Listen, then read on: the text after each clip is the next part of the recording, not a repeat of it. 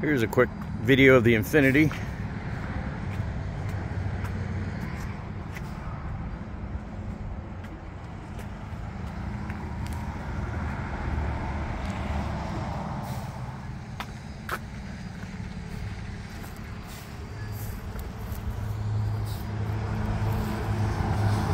It does have some body damage right here.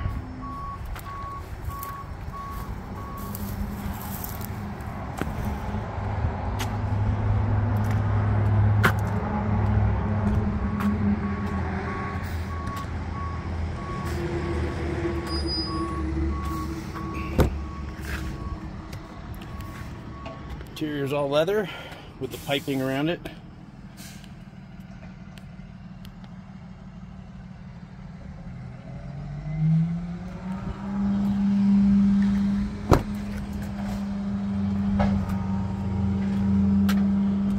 There's a back seat and it has a third row seat.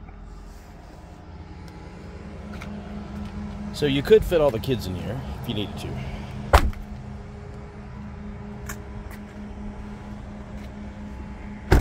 I hope that gives you a little better idea.